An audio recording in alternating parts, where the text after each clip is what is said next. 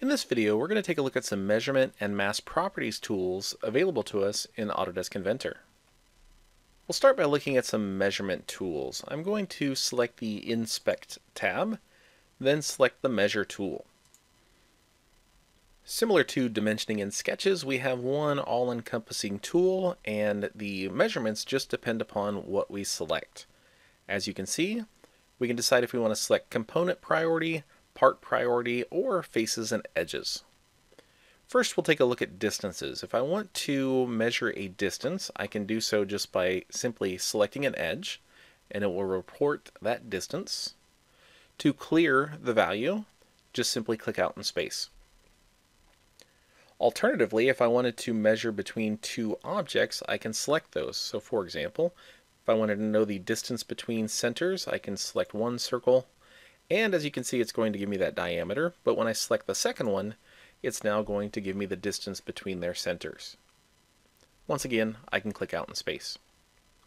If I select a face, it will give me the perimeter and area information of the face. I can also measure distances between faces. So I could go ahead and select one of the flat faces out here, and it will now tell me the distance between those two faces. I'll click out in space again. We saw an example of a diameter a moment ago. Let's see one more. If I select a circle, we can see its diameter, radius, circumference, and angle. I'll click out in space again, and this time select an arc. As you can see, very similar information there.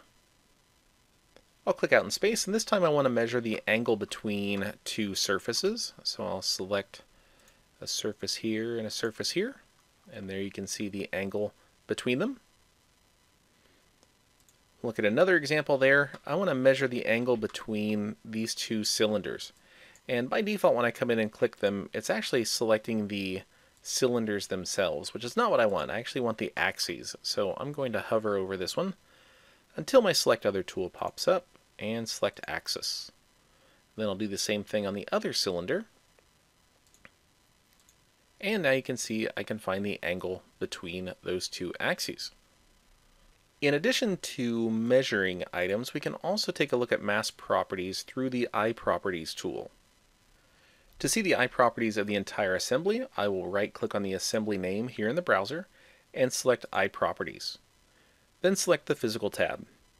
If necessary, I will click Update, and now we can see mass and volume information. I can also view this information per each part. So let's say I want to take a look at the base. I'll right click on just the base and select iProperties. We can see in the title bar it's looking just at the base now. And then once more I can take a look at the properties here.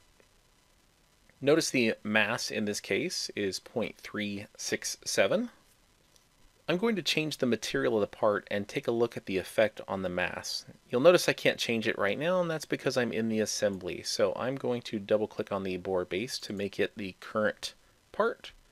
Then right click and go to iProperties. And now since I'm actually in the part, I can change its material. I will select an iron here. I'll go ahead and apply and close that. Then I will check my iProperties again. And as you can see, we have a quite different mass there now based upon the different types of material. I'll go ahead and close and return back to my assembly. So there you have a couple of tools, whether you're wanting to take a measurement or find out some mass properties of an assembly or the parts that comprise that assembly.